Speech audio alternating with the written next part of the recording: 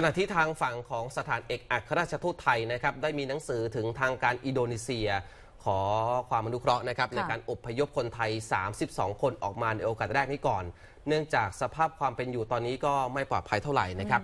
ขณะที่รองนายกรัฐมนตรีและรัฐมนตรีว่าการกระทรวงกลาโหมนะครับ ตอนนี้ท่านสั่งให้กองทัพ พร้อมช่วยเหลือด้านมนุษยธรรม แล้วก็จะไปร่วมบรรเทาภัยพิบัติในอินโดนีเซียด้วยครับ พลเอกประวิตยวงสุวรรณรองนายกรัฐมนตรีและรัฐมนตรีว่าการกระทรวงกลาโหม ได้กล่าวแสดงความเสียใจกับการสูญเสียของประชาชนชาวอินโดนีเซีย จากเหตุการณ์แผ่นดินไหวในเมืองปาลูเกาะสุลาเวสี แล้วก็ได้สั่งการให้กระทรวงกลาโหม โดยทุกเหล่าทัพ ติดตามสถานการณ์ และเตรียมความพร้อม สนับสนุน ในการให้การช่วยเหลือด้านมนุษยธรรม และการบรรเทาภัยพิบัติ พร้อมทั้งให้ประสานกับกระทรวงการต่างประเทศอย่างใกล้ชิด และขอให้ใช้ช่องทางทางการทูตทหาร รวมทั้งศูนย์แพทย์ทหารอาเซียนที่ไทยเป็นเจ้าภาพจัดตั้งขึ้นณกรมแพทย์ทหารบกไปประสานนะครับเพื่อที่จะเตรียมความพร้อมช่วยเหลือทางการแพทย์อย่างเร่งด่วน ตามแผนที่เคยร่วมฝึกกันในช่วงหลายปีที่ผ่านมานะครับ ในขณะที่สถานเอกอัครราชทูตไทยประจำอินโดนีเซียนะครับได้ประสานกับทางรัฐมนตรีช่วยว่าการกระทรวงการท่องเที่ยวของอินโดนีเซียแล้วนะครับเพื่อขอให้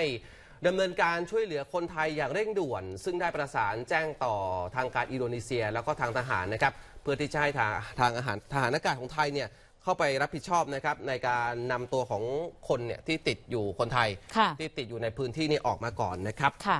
โดยคาดว่านักศึกษาและคนไทยจะเดินทางออกมาจากเมืองปาลู โดยเครื่องบินทหาร C130 นะครับ 430 อย่างช้าเนี่ยก็คือวันนี้ เนื่องจากท่าอากาศยานจะปิดทำการเวลา 18 นาฬิกาตามเวลาท้องถิ่น โดยสถานเอกอัครราชทูตได้ประกาศขอให้นักศึกษา และคนไทยเดินทางไปรวมตัวกันที่ท่าอากาศยานในเมืองปาลู เพื่อรอขึ้นเครื่องบินทหาร 430 แล้วนะครับ ค่ะ ทางการไทยก็อืมพยายามที่จะครับประสานนะคะไปยังเอ่อทางการของอินโดนีเซียคือเพื่อที่ครับจะนำคนไทย 32 คนเนี่ยกลับมาที่บ้านเรานะคะคือตอนนี้ในพื้นที่เนี่ยเฉพาะชาวอินโดนีเซียเองก็พื้นที่ไม่ว่าจะเป็นโรงพยาบาลต่างๆเนี่ยโหเขาแน่นเขาเต็มค่ะหมดแล้วนะครับค่ะก็ตอนนี้ทางการไทยเนี่ยพยายามที่จะเอาคนของเราเนี่ยในพื้นที่เนี่ยออกมาก่อนนะครับเพื่อที่จะให้ความช่วยเหลือเนี่ยมันน้อยลงไปอืมเพราะว่าทางการอินโดนีเซียเนี่ยเขาต้องไปดูแลอีกหลายเรื่องเลยนะครับค่ะ